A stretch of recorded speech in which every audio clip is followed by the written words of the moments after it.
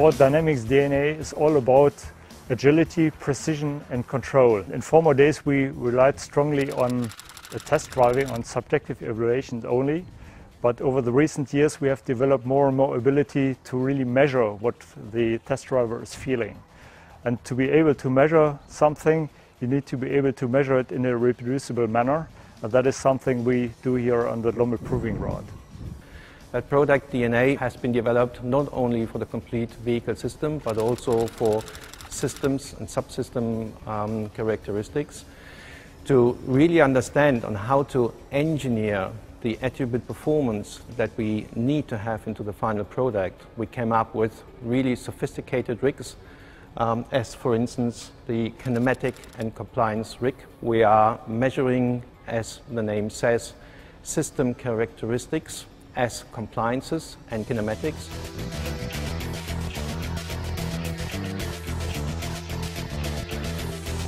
Attention to detail is certainly one of the key elements at Ford. So each component has to be optimized to its limit. And then uh, yeah, we get the result we, we want to achieve. When we decided to enter EPAS systems, we tried to define something which enables us to better understand these systems.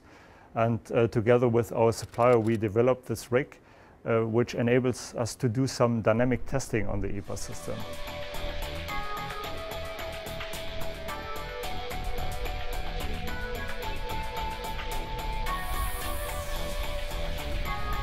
Well, for sure, most attention we've spent into the introduction of the new EPAS system.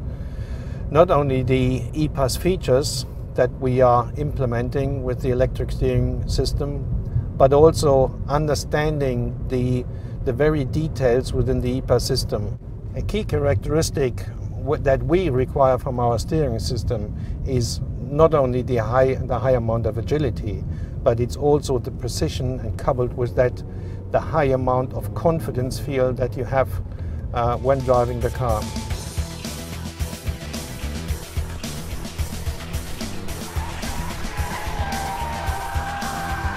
Uh, since we developed the original focus, we have concentrated in more and more understanding of the details of each and every component. And since then, we also try to apply more and more objective methods uh, not just to rely on what drivers feel, which is still key, but uh, also to better understand how we can translate what the driver feels into something we can, we can measure. Attention to detail, every very single component and system, and bringing it to a perfect system, not only the rear suspension, but bringing it into a harmony to the front suspension that is key um, for the vehicle dynamics overall.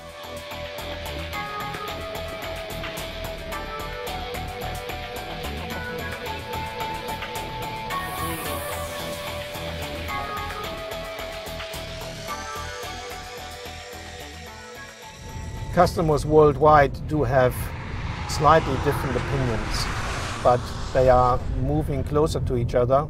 The differences aren't that high environmental conditions um, differ, obviously, and we need to ad adapt our products to those environmental conditions.